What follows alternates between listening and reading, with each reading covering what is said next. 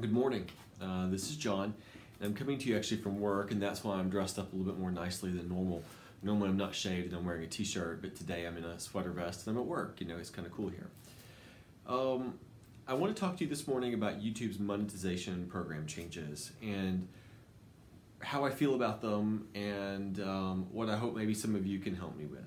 So the first problem I have with this is that as I've read in a handful of blogs, and I'll put those in the show notes, um, are that people count on this money, even if it's 60, 70, 100 bucks a year, that might help somebody pay for, you know, a bill, some work on a car, some car insurance, gas, um, a lot of different things that, you know, really should be happening there.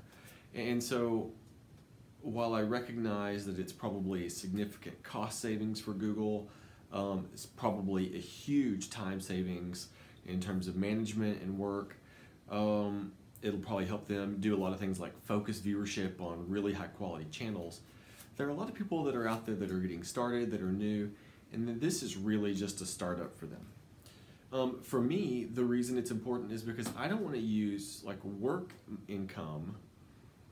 You take money out of like grocery bills and stuff for my own family and use them to buy equipment like microphones and cameras but YouTube monetization does that. It also helps me to pay for like website server costs, things like that.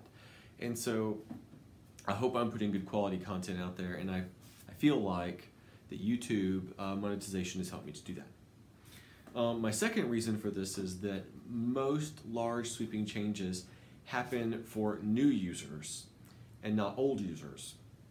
Whenever things happen like this, like cell phone plans, uh, I mean, you name it, anything that's contract based, you see that um, most of the time people are grandfathered in, so they get to still work on under the old working regime, and anybody that comes in after a certain point uh, has to follow those new rules. So, like for me, I've been monetizing a YouTube channel for three years. I've got another one that's been for five years, and I feel like maybe I should have gotten grandfathered in there. Uh, my third reason is that YouTube made claims and very intentionally said, you know, that people should, in fact, uh, focus their channel content. So I've had two YouTube channels, both of which have been monetized. One having about 400 viewers and one having about 300 subscribers, 260 some odd currently. And so that's almost 700 subscribers between the two. So that was really actually close to that 1,000 subscriber threshold but because I followed some of their own advice of focusing my YouTube channel, um, then what really happened was that I've actually hurt myself now because they've made this policy change. So um, my fourth reason, and I dropped my notes, hold on. My fourth reason is um, the analytics. This is the most important reason, by the way.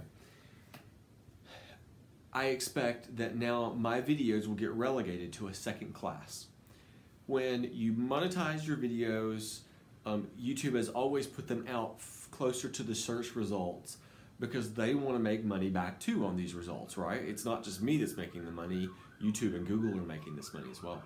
And so now that my videos are not being, um, now that my videos are not being seen as much, I won't build as many subscribers. Because I'm not building as many subscribers, um, it'll take longer for me to get to that thousand subscriber threshold, which means it just takes that much longer for me to get to the point where my account can be remonetized. So let's recap. The first reason is that there are people that count on that money. I count on that money, and I want to use that to continue making my YouTube channel better and better, and to pay for servers and such, and uh, you know for blogs and whatnot. But you know that that's not going to happen anymore. My second reason is that typically changes like this get grandfathered in. And so those numbers of a thousand viewers and so many watching hours, I may meet one of those criteria, but not both. And all of a sudden I'm out in the cold. The third reason is that um, I actually followed YouTube advice and now I'm getting penalized for that um, by the fact that two YouTube channels that I focused are now both going to be demonetized. The fourth and final reason being that um, the analytics will no longer work in my favor. So um, because I will no longer be monetized, because my accounts are smaller, um, my videos will become basically second class YouTube videos. Now, granted, they're not as good as videos like Casey Neistats and all those other channels that are fantastic. But, you know, it's been some work and it's been really nice to do. So, um, for all of us in the YouTube community that are getting impacted by this YouTube, I would just love to say you've provided a wonderful product, a wonderful environment, and a great community for us for so very long. Uh, I ask that before this deadline in February, or maybe at some point after, you reconsider and help us to rebuild this community again. Thanks. If you're watching this and you found it useful, go ahead, please subscribe to the channel. Thank you so much. Have a wonderful day.